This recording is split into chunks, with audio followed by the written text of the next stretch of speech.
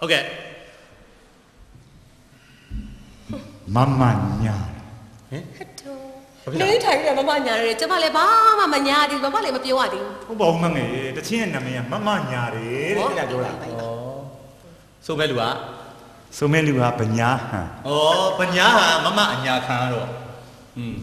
သဘောတော့ကောင်းတယ်လက်သီးပြင်းတယ်စိတ်ဆိုးတယ်ဟုတ်လားအေးပါအေးပါဒါနဲ့ဒီတချင်းလို့ဘသူကလက်စုပ်ပြီးရေးထားတာလေ ဘ누구လက်စော်လဲနေထုံးပေါ့နေစုလက်စော်တာလေဗညာဟန်ကအညာခံရတော့